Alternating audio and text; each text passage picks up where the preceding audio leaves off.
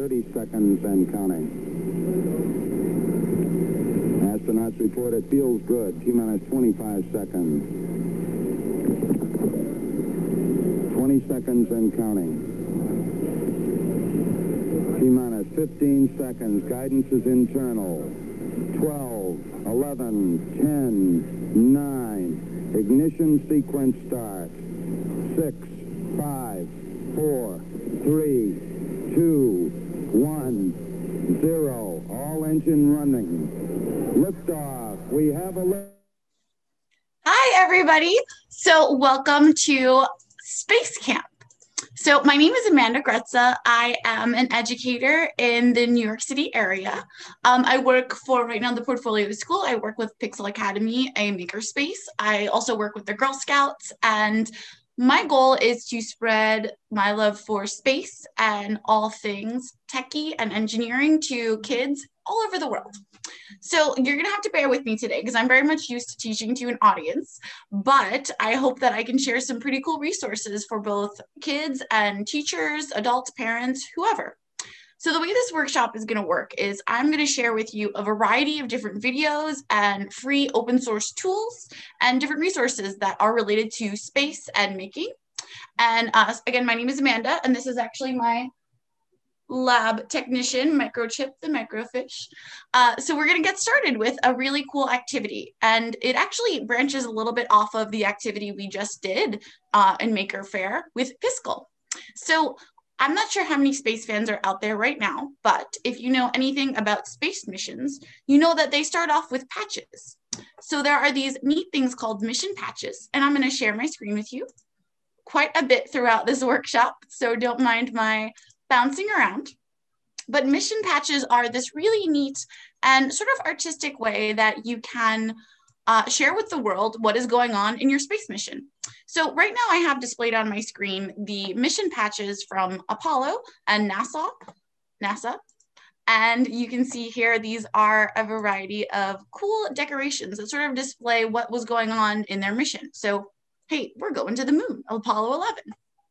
Uh, I also have here the SpaceX mission patch lists. So again, these are just a variety of different uh, designs, information, cool drawings that people did that the astronauts then wore on their suits as they left the Earth. So what I'm going to do is I'm actually going to open Piskel as well here. And this is a free open source uh, sprite editor, but I really enjoy it because it is a pixel maker. So what I will do here is just click on create a sprite. And we're going to create a mission patch for Space Camp today. So I've actually downloaded the Maker Faire art, and we're going to pop this in here to get us started. Now you can do this on your computer with any image that you like. If you would like to make a mission badge for say your your family or if you're in a school, you can create a mission badge for a project that you're doing or for a science fair. Doesn't matter. It's just super fun to make and it's it's really neat because you can not only create an aesthetic for what you're doing, but you can add little details. So right now we have our, our Maker Faire badge, right? And it's quite large. So we're gonna resize this little teeny bit.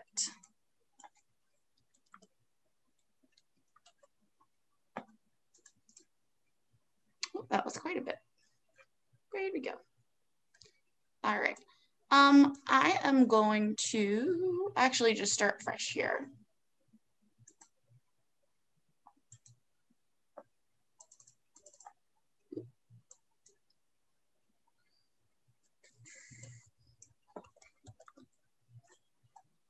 All right, that is much, much better, much more easy to work with. Okay, so right here we have our Empire State, Empire State Maker Faire logo. So we're actually also in Space Camp. So I'm going to add a couple things that indicate we're here in Space Camp. So first, I think we should probably keep the logo as is, but I'm going to actually design over it. So as you see here to the left, there are a variety of tools that you can use to edit your workspace here. Um, and if you've ever used a pixel editor before, it's pretty straightforward. You have your pen tool, you have your paint bucket tool, eraser tool, uh, shapes, etc. So what I'm going to do first is I'm going to actually fill in our background. And I think that um, this blank background is just not doing it. So I'm going to click over here down at the bottom. There are your, your color palettes. So I'm going to actually stick with black for now. But as you can see, once you click on this little square here, you can pick up a color dropper that will give you anything you'd like. So boom, we have a black background for our badge. Now, I think because we're space related, it would be kind of cool if we left our logo here as sort of like the planet and mid background for the badge. I'm also going to add in just some stars. I'm just going to sprinkle in a little bit of stars all around. Now, when you are making a mission patch, the goal is to sort of encompass the things that you would like to do or that you are doing in your home or school or project, etc. So right now, Space Camp needs stars. Um, say you are working on a science fair project about a volcano or a biosphere. In that case, you wouldn't really add stars. You could add a land mass and you can add lava flowing out and then maybe the names of your teachers or if you worked on a project with your friends you could put those names on the side as we see here with some of our official badges see so you have your details your background and then the names of all of the people that are working on the projects so back to school. all right so we've got some some neat stars going on here that'll kind of serve as our background. And then the goal of this workshop today is to not just expose you to open source resources, but to also help you become citizen scientists. Now, citizen science is really important and also really cool because you basically get to help out real projects that NASA and other government space organizations and not even space related organizations, but scientists in general are doing. So you're going to actually help out on real research projects that can help change the world and help us learn more about the world around us, which is amazing. So part of our citizen science, I'm going to introduce you to two different specific citizen science applications today. So the first one is actually called Target Asteroids, and it is a a research project that allows you, the citizen, to use um, amateur telescopes or any equipment that you have to identify things in the night sky and then report back, which is really um, kind of a fun way to get involved with space, but also stay in your own backyard, which is kind of important. So uh, that is our first experiment. The second one that I will show you is a much more closer to home experiment. And we will actually be identifying penguins, almost like uh, a nature where's Waldo. So that is not something that we're going to put on this badge right now, but I would like to go into the, the amateur telescope area arena. So you're going to have to bear with me because I'm actually not that great of an artist but I'm going to try to make a telescope. So I'm going to click over here on my circle tool and make a little, a little outline right there. Okay, I kept it white so that it sort of blended in. And then I'm going to go over it using my pen tool and again, I am not a good artist. So this is what's fun about Piskel is that you can kind of experiment and goof off. So here is the part of my telescope. Wow, that was terrible. so this is the part of our telescope here. Again, don't have to be a good artist, just have to make the effort, right? So I will now boop, boop, boop see, I'm just gonna make a crazy circle right over here.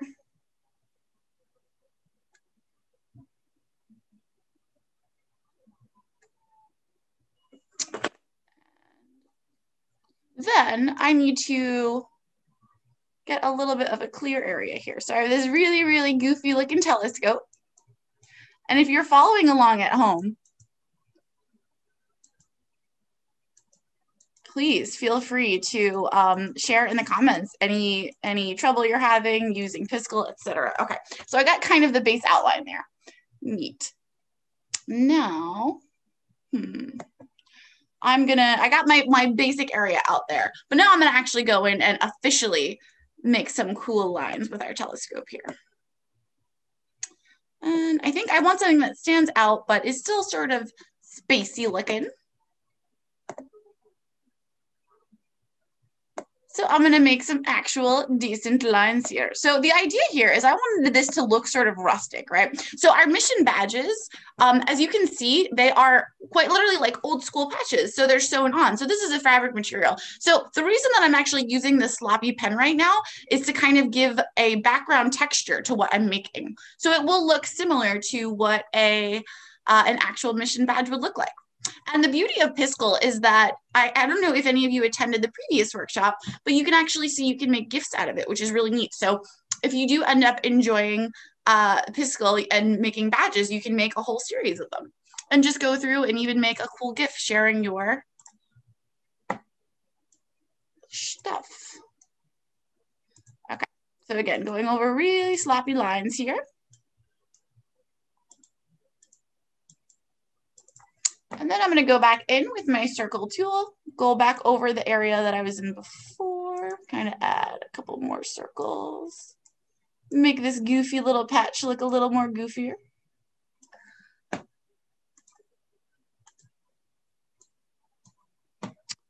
And let's see. I also really enjoy Piskel because you can kind of stay in the range of the colors that you're doing. So again, I have this super, super sloppy telescope-esque object. Now, the idea of uh, making it look this sloppy is to also, I work with a lot of younger kids who kind of get frustrated when they're um, when their objects don't appear as visually interesting as they should. So again, I like to keep it kind of messy and goofy and fun. So I have this messy, goofy little telescope here. That's what this is indicative of. Then we'll add our stanchion for it, right? Because a telescope has a lot of trouble standing on its own two legs. And I'm going to make my pen size a little bigger, which you can do up here in the top left.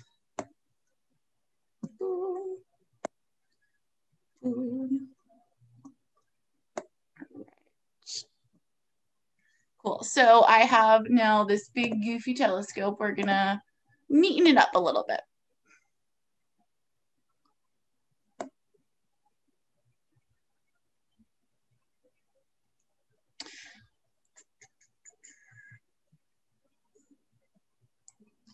All right, so there's my messy telescope. Now, as I mentioned, we're also going to be doing a citizen science spotlight on finding penguins. So the way that this citizen science experiment works, and the way a lot of them work, is that you actually pan through images taken by um, satellites, by fans, by scientists themselves and you have to go through and identify what is going on in those pictures. So there's going to be a lot of NEOs or near earth objects. If you're looking at a citizen science project that pertains mostly to space um, we're actually going to be doing that very very cool asteroid citizen science experiment. But this particular one about penguins is actually going through tons of images that contain landscapes full of penguins. And you need to identify the penguins and you need to identify their eggs and then obstructions in the um, in the area.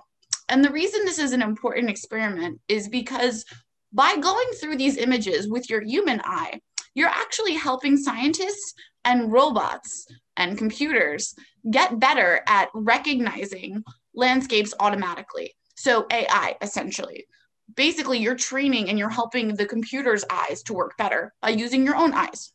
So it's kind of a neat thing. And also it's really fun because I like to think of it as where's Waldo, but in this case it's where's penguins. they don't have striped shirts though, unfortunately. Um, anyway, so we are now going to do a really, really goofy little penguin too. So let's come over here. We're to make, we're to, I'm to try to make a penguin. I don't know how successful I will be. But again, that is kind of the fun of doing the mission badges, right? Is that it's not supposed to be this amazing piece of artwork. It's supposed to represent what you're doing or what your project is at the time. So here is my part of my little penguin guy. And again, I probably should have stayed on for um, our last presenter's Piskel training because he was fantastic. I am much more of an amateur physical artist, but it's a very fun activity. So here is the little the little background for our penguin. Um, I should have drawn Pingu. I have a lot of students who like Pingu. So if you are a Pingu fan, maybe next time we'll do a Pingu badge. All right. So I'm not going to stay on this too much longer. I kind of just wanted to do a quick demo of my terrible art. And this is a wonderful experiment, especially for younger kids. Um, if you have if you have children who are significantly like maybe preschool, kindergarten, um, they're still developing their motor skills. So I would suggest literally having them pop down a pen and paper, draw something out, and then they could also transfer that over to this graphic design program. So you're kind of getting the best of both worlds. Like you're doing the physical motor skills and then their digital motor skills. Um, so I'm going to stop us right here. So this is my mission badge for today's space camp. I have our penguin for citizen science. I have our telescope. Um, I didn't want to spend too much more time on this because I have a lot of exciting stuff to show everybody, but I will have a link to all of these open sources back in my Maker Faire page, and you'll be able to check them out. And these are all free all the time, um, accessible basically on any kind of device. So that is why I like to work with them. But here we have our mission badge. So we're at the Maker Faire, we have our citizen science, and we are ready to go to our next topic. So I'm going to stop sharing for just a moment here. Um, aside from Piskel, uh, I would generally recommend kind of any pixel editor works really great for this activity. And especially one if you can upload or import an image that you already would like to use. That's always really helpful, especially with younger students, because um, then they kind of have that framework to work upon. But that is our mission badge. Now, Next up, I wanted to talk about what goes on in space and why we go to space as humans. Personally, I think space is just fascinating because it is quite literally one of the final frontiers for humankind. Um, I think every human that's ever existed has looked up at the stars and thought, oh my goodness, this is beautiful. What is going on out there? Um, and currently, we have a few missions in the mix it was a really, really amazing year for space and space travel in general. Uh, we had our first ever commercial partnership launch. And we also launched our set of rovers, a new set of rovers, Perseverance, and little robot, uh, helicopter pal, which is just a, just a wonderful, wonderful step for mankind.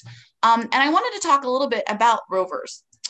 So if you are young and you are working at home right now, um, rovers are these amazing little space robots that help us study and learn about planets especially in cases where Mars, Mars is not particularly accessible for humans. Humans can't really survive on Mars right now as we exist and with our advances in technology, but robots can. Robots are much, much less needier than human beings are, um, especially if you pop fuel cells and nuclear nuclear power in them, they can go for quite quite a while.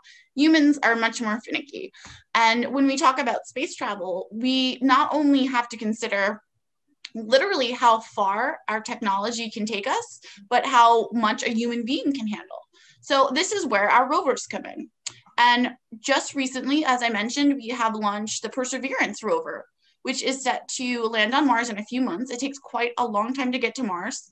Um, and again, another reason why it is unsuitable for human beings to make the trip currently. So what I want to show everybody is a, it's called Seven Minutes of Terror. And I had the pleasure of actually working with a um, mission specialist that works with JPL and the imaging laboratory. And he was actually in charge of the Mars rover Curiosity and worked on Mastcam. So if you have seen any image of Mars in the last few years that came from Curiosity. It was this gentleman and his team that actually brought those images back to Earth and shared them with the world. And he recommended this video called uh, Seven Minutes of Terror.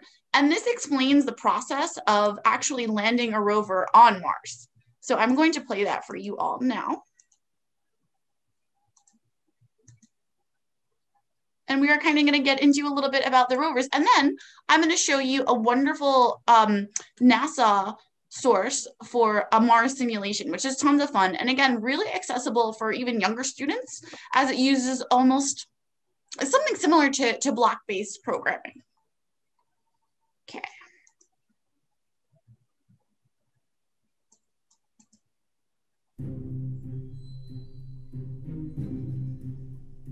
When people look at it, uh, it looks crazy. That's a very natural thing. Sometimes when we look at it, it looks crazy. It is the result of reasoned engineering thought, but it still looks crazy. From the top of the atmosphere down to the surface, it takes us seven minutes. It takes 14 minutes or so for the signal from the spacecraft to make it to Earth. That's how far Mars is away from us. So when we first get word that we've touched the top of the atmosphere, the vehicle has been alive or dead on the surface for at least seven minutes.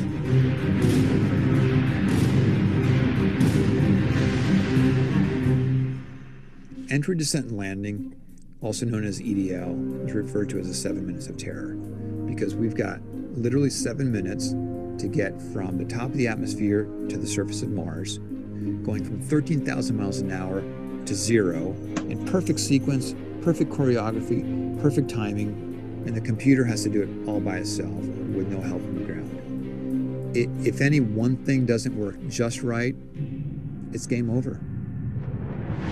We slam into the atmosphere and develop so much aerodynamic drag. Our heat shield, it heats up and it glows like the surface of the sun. 1600 degrees.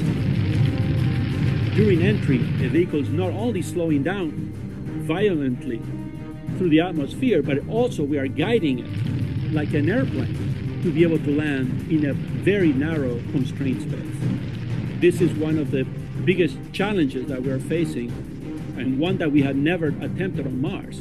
Mars is actually really hard to slow down because it has just enough atmosphere that you have to deal with it. Otherwise, it will destroy your spacecraft. On the other hand, it doesn't have enough atmosphere to finish the job. We're still going about 1,000 miles an hour. So at that point, we use a parachute. The parachute is the largest and strongest supersonic parachute that we've ever built to date. It has to be able to withstand 65,000 pounds of force, even though the parachute itself only weighs about 100 pounds. When it opens up that fast, it's a neck snapping 9 Gs. At that point, we have to get that heat shield off. It's like a big lens cap blocking our view of the ground to the radar.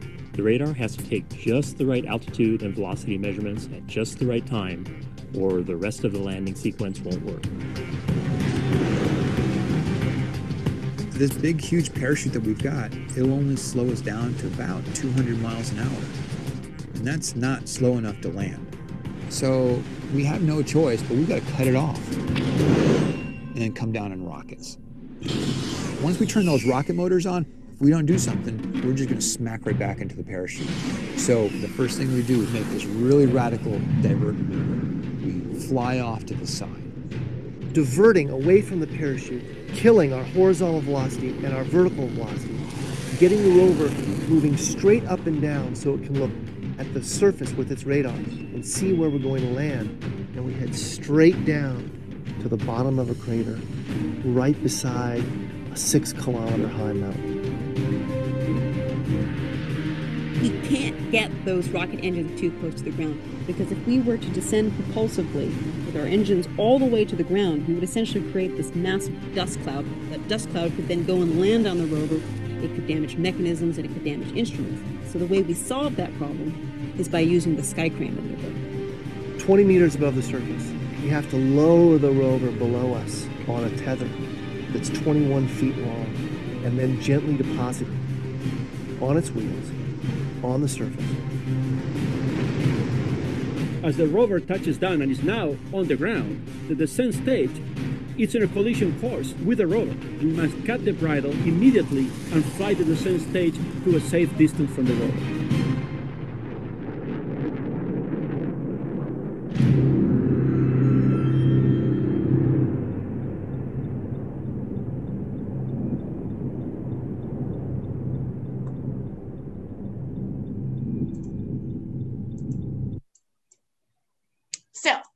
crazy, really neat.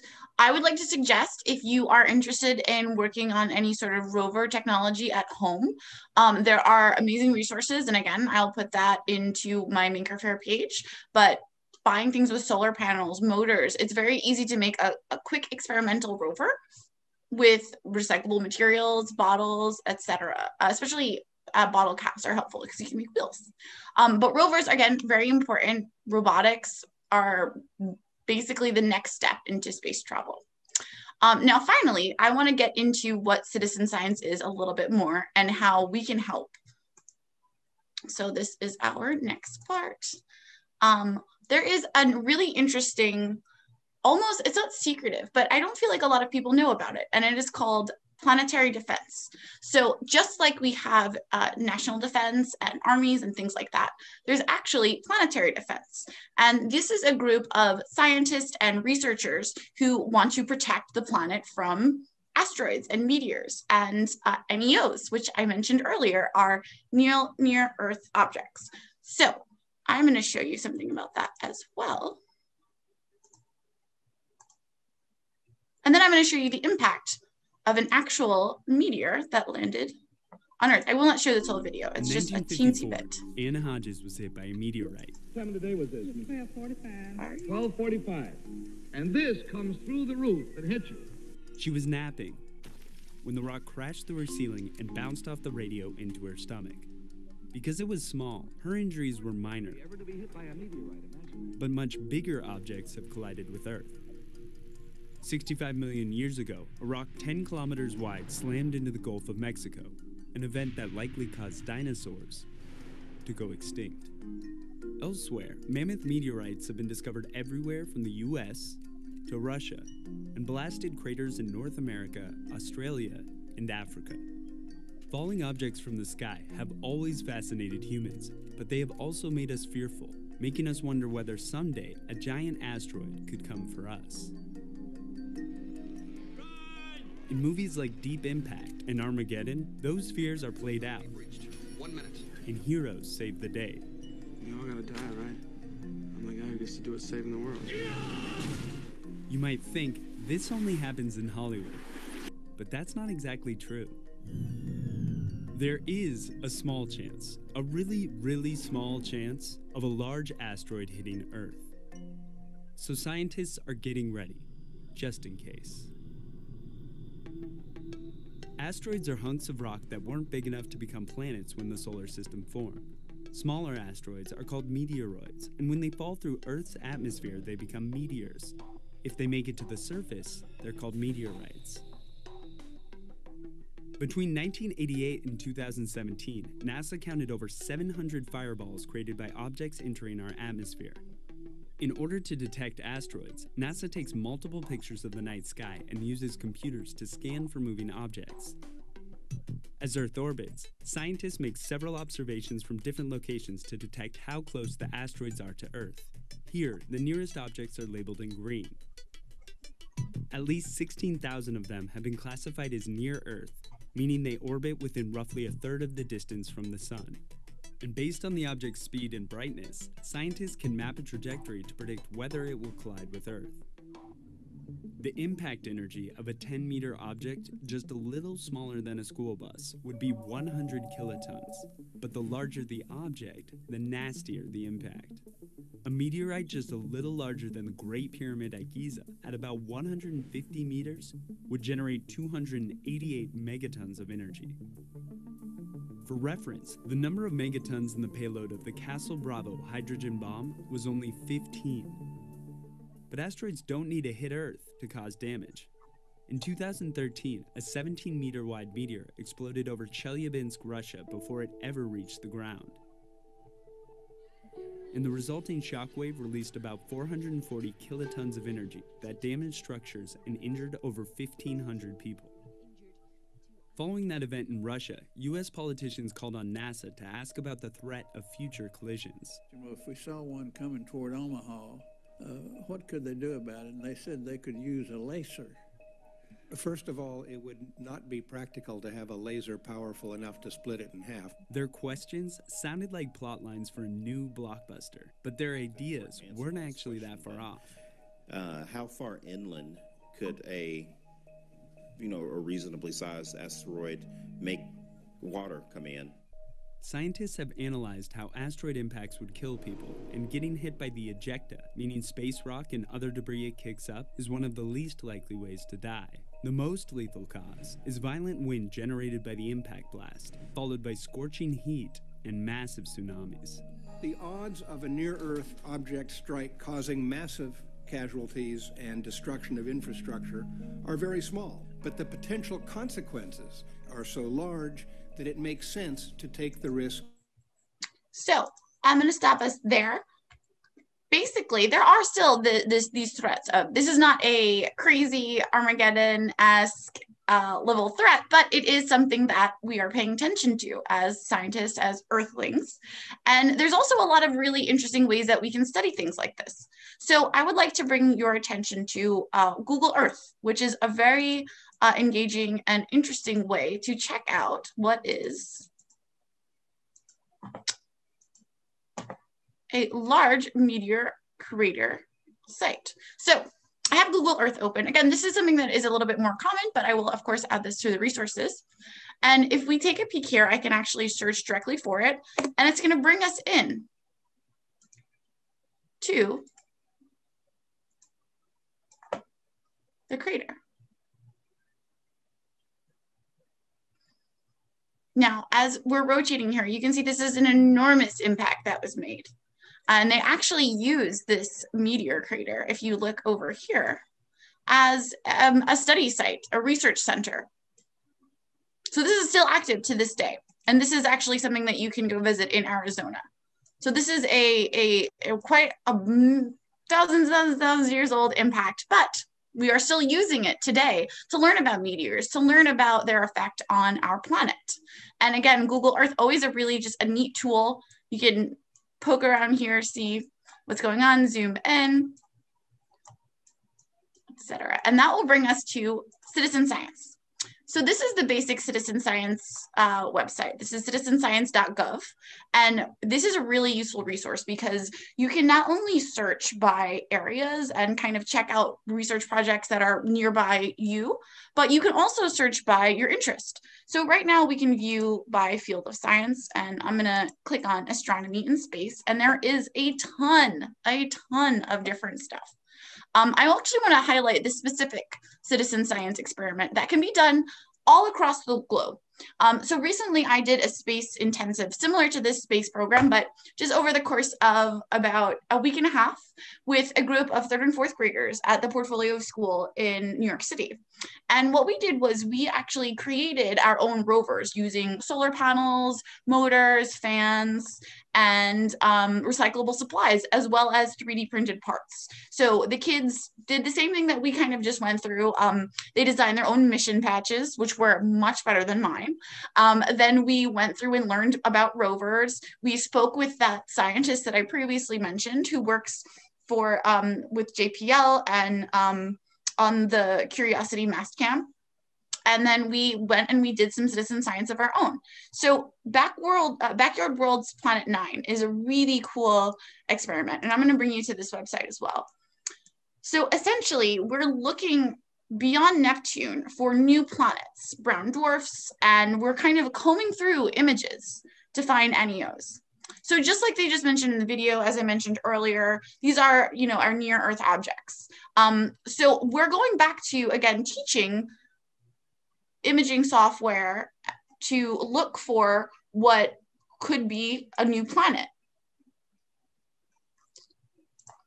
So if you take a peek here, there are notes. You can actually talk to other people that are doing the experiment, but essentially it's about classifying objects and images. And as you can see here, you can you're going to actually click and identify the different things that you see on these this huge catalog of images this is pretty pretty straightforward. I would recommend this for a little bit of an older group as you do have to be a bit careful about the pictures that you're seeing. There can be a lot of different markers that are sort of tough to differentiate. But I will then bring you to this other citizen science experiment, which is much, much more accessible for kids of all ages, um, people of all ages. Uh, this is the one that I referred to earlier as the Penguin, Where's Waldo? So this is called Penguin Watch, and this is on Zooniverse. So Zooniverse is a pretty big citizen science website as well. This is funded by um, government, NASA, etc. But what I have open here is another imaging experiment where you have to go through and identify penguins. So as you can see, it is a little bit easier to do than to mark on our, our backyard worlds. So although we're not looking for a planet, we are looking for penguins. So as you see here, um, we have, it's really straightforward with the tutorial. It will tell you you're just individually marking adult penguins, chicks, and eggs. And as you're doing that, you are helping teach computers, you're helping teach robots how to do this on their own. So it is really vital, vital help. Um, so right now I'm just gonna go through and oh, we have some penguins. What I thought at first was kind of funny is it's tough to identify the ones in the backgrounds. So you can see them, but it is a teensy, teensy bit far off. So we have to decide, is that going to be part of our identifying process?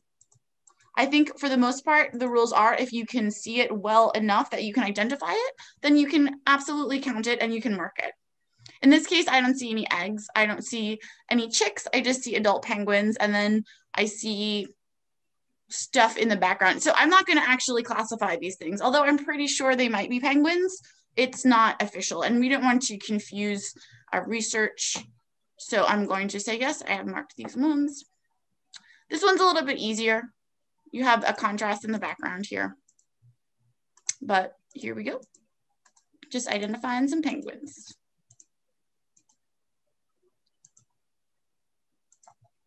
And that was it. And so, in doing this action, I am helping participate. I am a scientist here.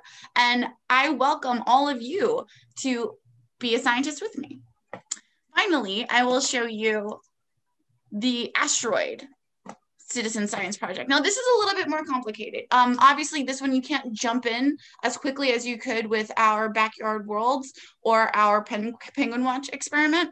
But if you do have a telescope at home, I absolutely welcome you to come and check this out as well. This is going to be a little bit more of a um, space specific and involved project where you're actually looking for asteroids, you're tracking things in the night sky with your own eyes, and then reporting back and helping collect like this massive amount of data that will help with our NEOs.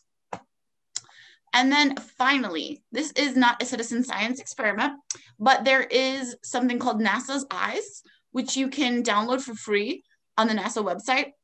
And it is a fully fledged out app that actually allows you to check out past experiments, past um, missions, and go from the perspective of the shuttles, of the equipment themselves, and check out space, check out the planets, check out anything they were looking at.